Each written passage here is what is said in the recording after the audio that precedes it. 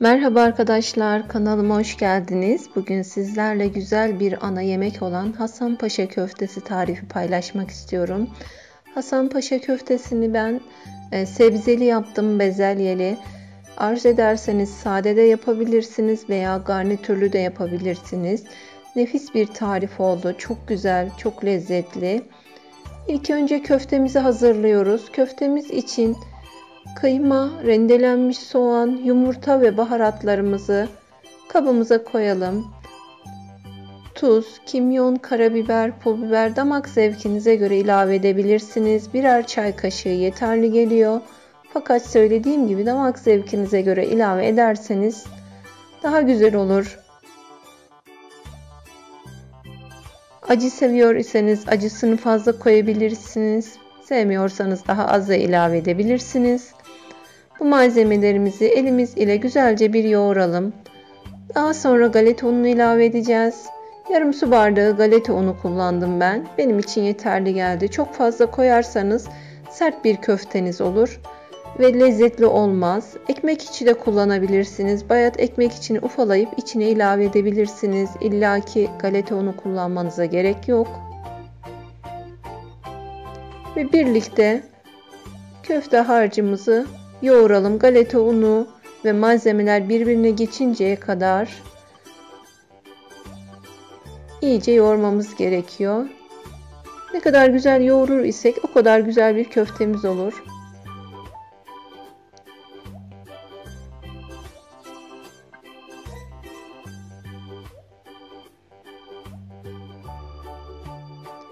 Gördüğünüz gibi toparlandı. Kıvamı çok güzel oldu.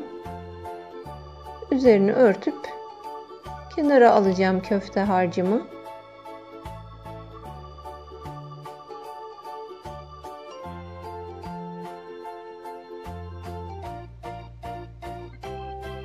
Çok fazla da bekletmiyorum. Sadece patatesimi hazırlıyorum. Patates püresi yapacağız. Kabuklarını soyup yıkayıp küp doğramış olduğum patatesimi tencereme alıp ocağımın altını yakıyorum ve bolca su ilave ediyorum.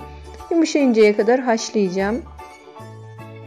Patatesimiz haşlanırken fırın kabımı yağlıyorum. Köftelerimi hazırlayacağım. Büyük boy kare borcam kullandım fırın kabı olarak.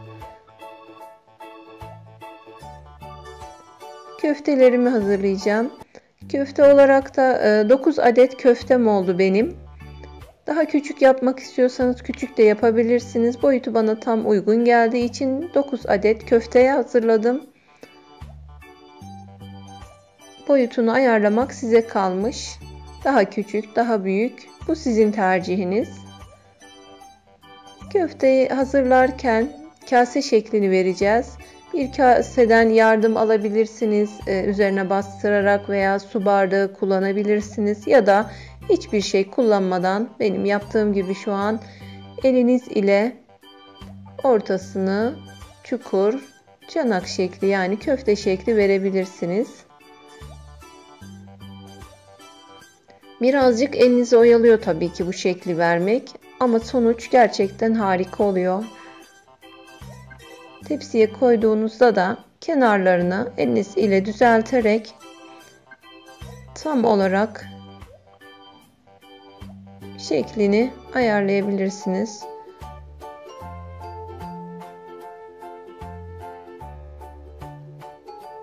Tekrar bir parça köfte harcımdan alıyorum. Elim ile ortasını çukur kenarları yüksek kase şekli veriyorum. Kase şekli veriyoruz. İçine e, bezelye dolduracağım ve püremden koyacağım. Püre yapacağım. Patates püresi.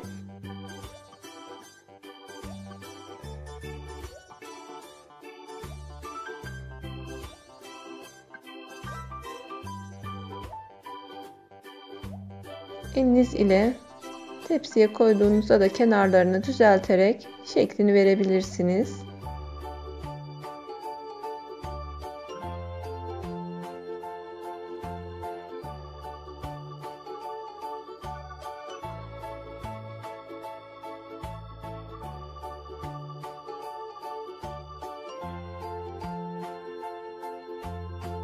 Tekrar bir tane daha yaparken gösteriyorum. Önce yuvarlıyorum. Daha sonra elim ile bastırarak kase şeklini veriyorum.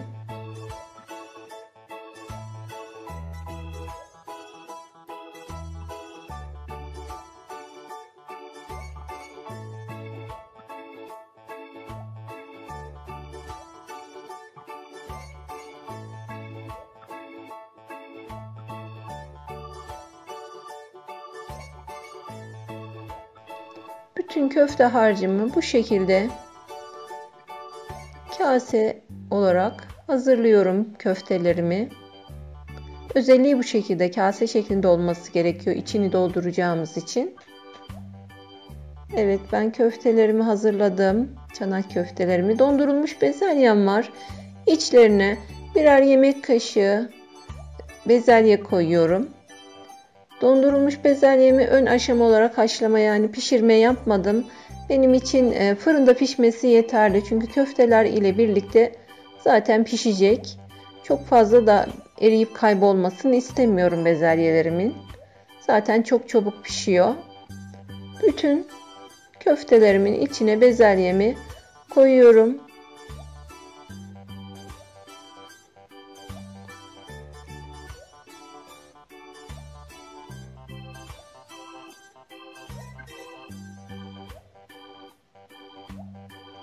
Pürem için patatesim haşlandı.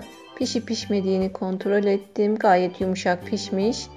Ocağımın altını kapatıp suyundan süzdürerek patatesimi alıyorum.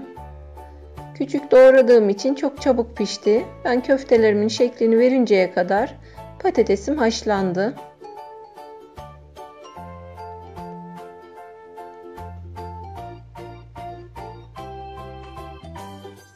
Çatal yardımı ile eziyorum patatesimi. Sıcakken bu işlemi hemen yapmamız gerekiyor.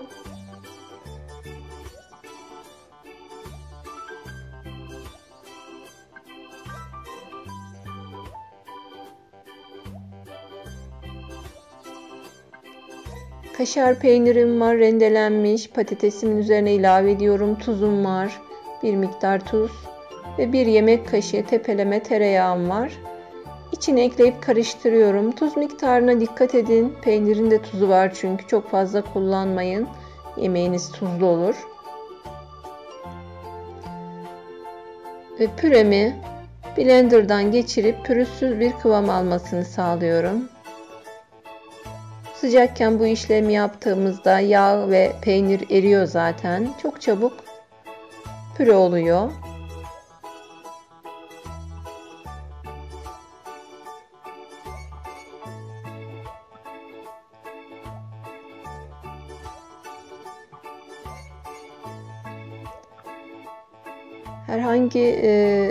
Şeyle açmıyorum. Kıvam benim için yeterli. Süt ile hani koyu kıvam olduğunda açabiliriz başka zaman ama e, bu tarifte sadece bu şekilde pürüzsüz bir kıvam alıp köftelerimizin üzerine koyacağız.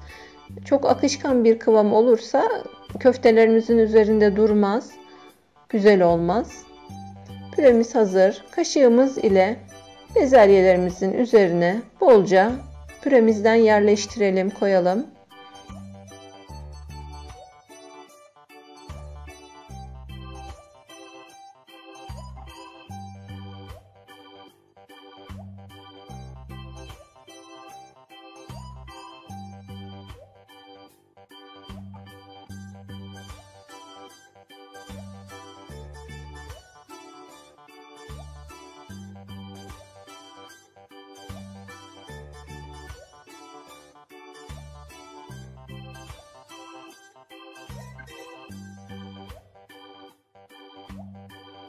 Bütün patates püremi köftelerimin üzerine paylaştırıyorum.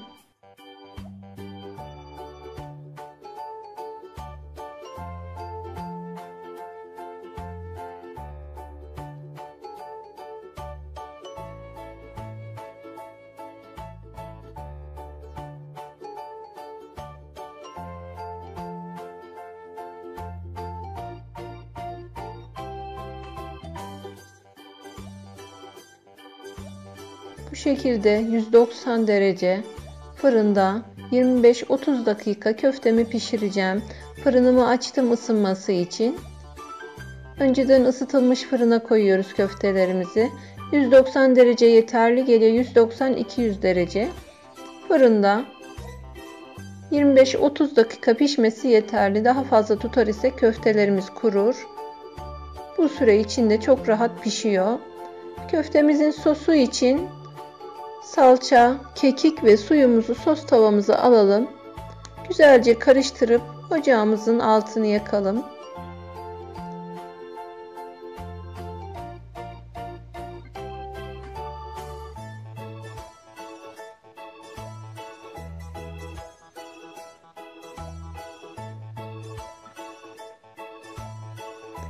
Sosumuz kaynadığında ocağımızın altını kapatalım. Kaynaması yeterli.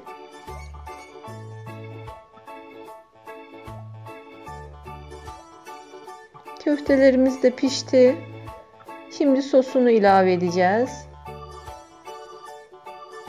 Üzerleri de kızardı gördüğünüz gibi. Hazırlamış olduğum sosumu kenarından tepsime koyuyorum. Üzerlerine bol kaşar peyniri serpeceğim.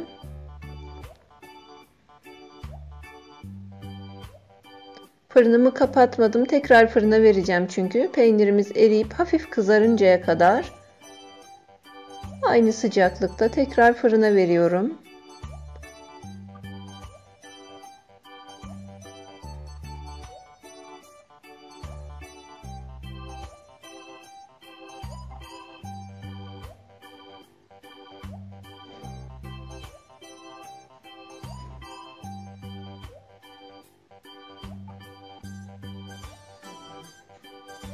Evet köftelerimiz çok güzel kızardı. Artık servis yapabiliriz. Büyük bir servis tabağına almayı tercih ettim ben sizlere göstermek için. Köftelerimi ve sosundan da alacağım.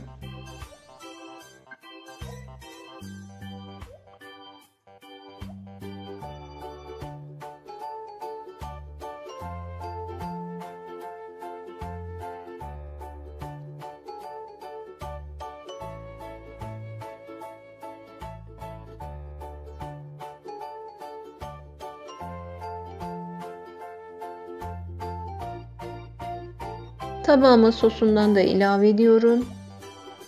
Köftelerimi de yerleştirip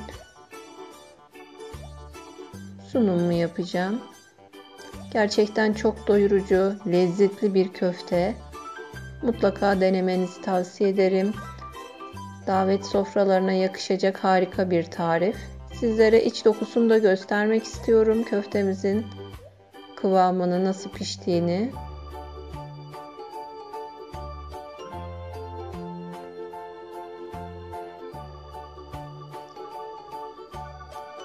Bakalım gördüğünüz gibi tam kıvamında pişti. Çok güzel oldu.